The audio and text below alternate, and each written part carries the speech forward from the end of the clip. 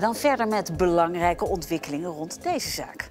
Met dit kaartje willen we jullie laten weten dat we het verschrikkelijk vinden wat jullie is overkomen. Heel veel sterkte samen. We hebben al 85 kaarten gekregen, we hebben al 30, 35 bloemstukken gekregen. Heel dorp leefde gewoon met ons mee. Het Noord-Brabantse dorpje Loosbroek telt zo'n 1200 inwoners. Aan de rand ervan, aan de Voorstraat, woont een echtpaar van rond de 60. Ze zijn gepensioneerd, maar houden voor de hobby nog wat dikbilstieren, paarden en hebben een hondenkennel en fokkerij. Bij ons is altijd, altijd allemaal welkom. Hier kinderen uit het dorp komen al met hondjes spelen en ja, dat vinden wij gewoon, ik vind dat leuk. En het paar heeft achter hun huis ook een eigen waakhond. Zondagavond 4 december zitten de twee tv te kijken wanneer die hond rond half elf aanslaat. Mijn vrouw zei, ik ga even kijken naar Mara, die hond. Eh, Die leert, blijft maar blaffen. Niets. Maar omdat hun hond maar blijft blaffen, kijkt ze ook even op de oprit. Twee mannen tegen een vrouw van 60. Toch slaan ze meteen. Ik spring aan de bank. Ik eh, loop, wilde naartoe lopen en ik kwam de overvaller al tegen hier in de kamer. De man besluit zich niet zomaar gewonnen te geven. Het lukt hem bijna om het wapen van een van de overvallers te pakken. De mannen lijken te weten dat hij af en toe wat stieren verhandelt. In de slaapkamer. Die zondag 4 december vecht de man voor zijn leven en dat van zijn vrouw. En toen heb ik hem in zijn masker gepakt, heel strak, heel strak. En kon ik denk bijna niet ademen, maar toen kwam er een zacht geluid uit van help, help, help mij toch, weet wel. Toen is die de andere dader erbij gekomen. En die heeft me helemaal tot losgeslagen.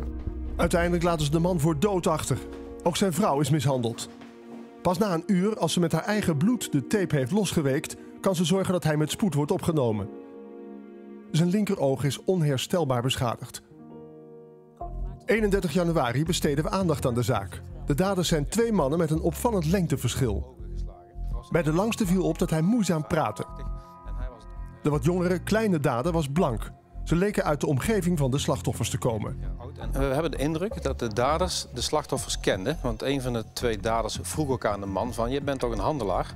Daarnaast we u 31 januari deze bewakingsbeelden. Iets voor en na de overval, die zondag 4 december, was deze auto opvallend vaak de voorstraat waar het echtpaar woont doorgereden. Uiteindelijk was hij na de overval met gedoofde achterlichten weggereden. Waren dit de daders? Ja, u bent thuis altijd heel erg betrokken bij dit soort zaken. Denkt zeker over auto's. Heel goed mee, meneer De Koning. U bent weer terug in de studio met nieuwe ontwikkelingen. Want uh, mede door de kijkers weet u meer over die auto.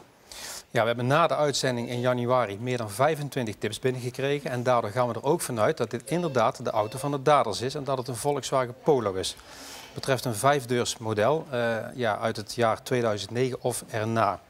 We hopen dat mensen daardoor een link kunnen leggen naar wie die twee mannen zijn geweest. En we vertelden ook in de vorige uitzending, hè, die twee overvallers, uh, die hebben waarschijnlijk op de een of andere manier een link met het dorp Loosbroek. Maar het kan ook zo zijn dat ze er iemand zijn ingeseind, dat ze hem of hen hebben verteld dat de slachtoffer handelde in dieren, maar dat doet hij nooit contant.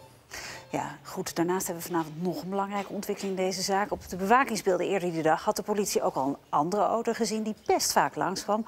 Dat kan natuurlijk toeval zijn, maar ook over die auto weten we meer. Ja, klopt. Ook weer mede dankzij de tips van de kijkers weten we, of denken we te weten dat ook deze auto te maken heeft met de overval. En dat betreft deze donkergroene uh, Citroën Berlingo. En die is die zondagmiddag 4 december een aantal malen door de voorstraat gereden langs het huis van de slachtoffers. We zijn natuurlijk heel benieuwd ja, wie er in die auto hebben kunnen zitten.